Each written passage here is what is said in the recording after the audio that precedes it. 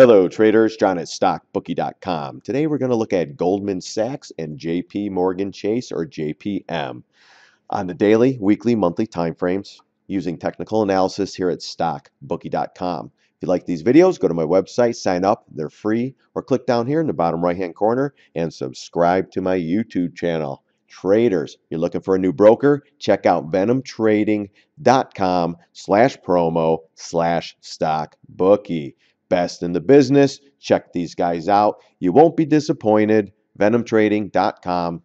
Check them out, guys. All right, let's get at the Goldman Sachs daily chart. We were down $5.07 red on the day, or 1.89% red. 50 MA, 382 retrace from this low, this high. That's my fib levels. That's your zero, that's your 100%. This is where it's coming down now. You have your 250 that was holding on with the 20 MA. As long as it was above there, it's a little more bullish, but now we got below it. Next level, you have the uh, 382 or the green line right at like 261.60. Then you have this uh, low pivot here at 259.56. If you draw a trend line here, guys, as well, let's see, let's get a trend line in there. I mean, it's it's a little bit steep for me, but you know, here here you are connecting three lows. So let's do that. And I didn't go to this one because I, I don't like the angle where it's a little bit too high. I like this one a little bit better. So let's see if this holds. So basically, guys, if you're bullish, you need to stay up in this area. You need to stay above this trend line. You need to get back above the 20 MA and recapture these this little high pivot this little where it broke down the high of that bar. And then once you get here, you have some overhead resistance. Then of course double top at 275.31. So for the bulls, you just want to see this thing chop and start to turn upwards, like kind of like this. Pulls back, and then you kind of want to see that chop. Pulls back. This one came back down, but then see how it just bounced right back up, and then a slight pullback and up. So will we get this slight pullback and then the bounce like this? Boom, a couple days up. You know, put put a little hurt on the uh, on the uh, shorts or the puts. And if it gets back up here, guys, I might put another put position on here on uh, Goldman Sachs, or I might write some calls. E either or, we're going to see how it looks once it gets up into this area, see where the options are at. All right, so that's a daily chart of Goldman Sachs. Let's get into the weekly.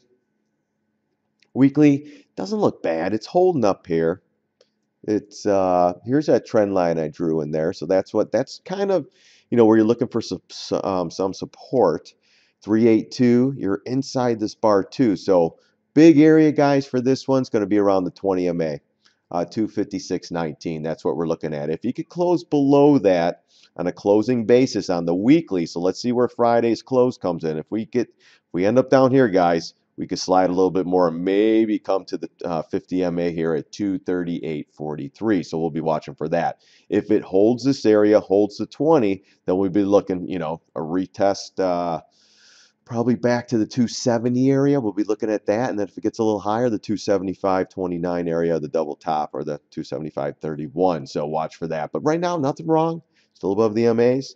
Still, you know, trend is your friend until the end, guys. So let's watch for this. Let's see what happens on uh, Friday's close. We have a couple more days, and then we'll take it from there on Goldman Sachs.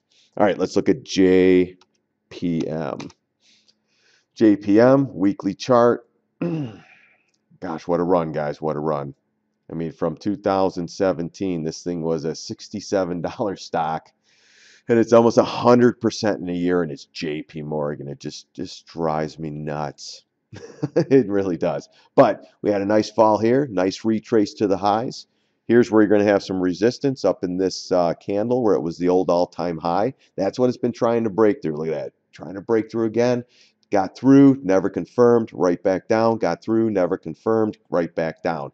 Now you're in between the 20 and the 50. So we're going to see what this thing does, how it sets up in the next couple of days. You are holding support down here at the uh, 113.26 area. Next big area will be this one here around 111.14. If you draw a trend line like we did before, I'm going to go from this one here again too. So you're right on top of it. It's a little bit, it's a little, anyway, I'd rather have it down here a little bit more. You know what? Let's stick a retrace in here too. I want to see where do we come down. Yeah, look at that. So we came out to the 382 and we kissed the 50 MA and we closed above. So now we're waiting for pattern.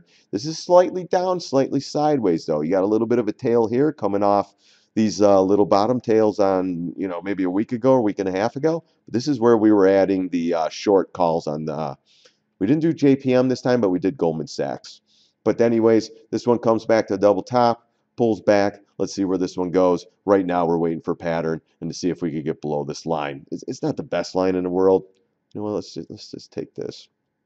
I'd rather have it like slanted like that. And if you really want, maybe take this one and put this one here.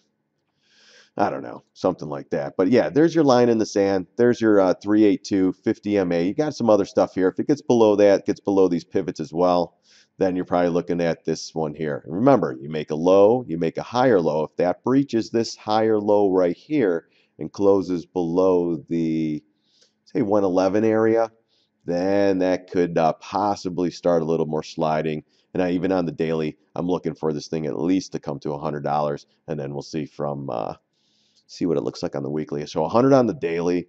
Yeah, we can like not yeah, 98.42, 100 bucks is pretty good. I like where it popped up, came out, broke out. Do we come back here or do we come back and fill this gap around September? I still personally think we still come back to these November lows eventually in this gap right here. $67, guys.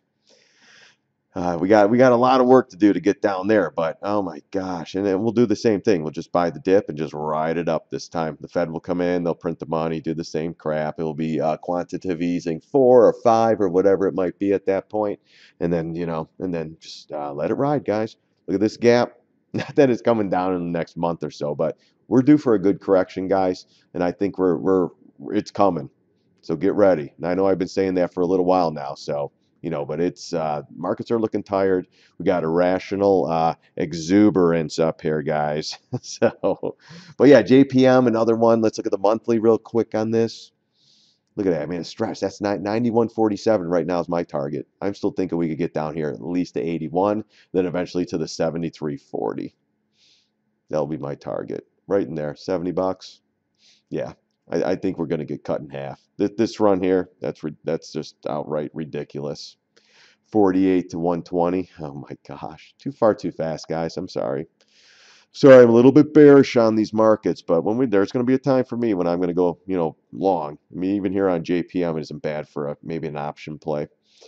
We'll um, write some puts on this one or short puts. So when this hits this and has a nine day bounce, we can uh, collect the premium on that one. So, so JPM guys, it's still okay, still above the you know moving averages here, below the 20, but nothing wrong. As long as you're holding this trend line here at this point, it's not even connecting anything. Hold on, let's see here. It was on there. I don't know why. All right, right there. So, so that's where we're at with that, and uh, let's see if it holds. All right, guys, that's going to be it for today with JPM and Goldman Sachs. Hopefully, this helps some of you traders out there. If you have any questions or comments, send me an email at stockbookie at gmail.com. I, I really appreciate you guys watching, stopping by. God bless. See you on the charts.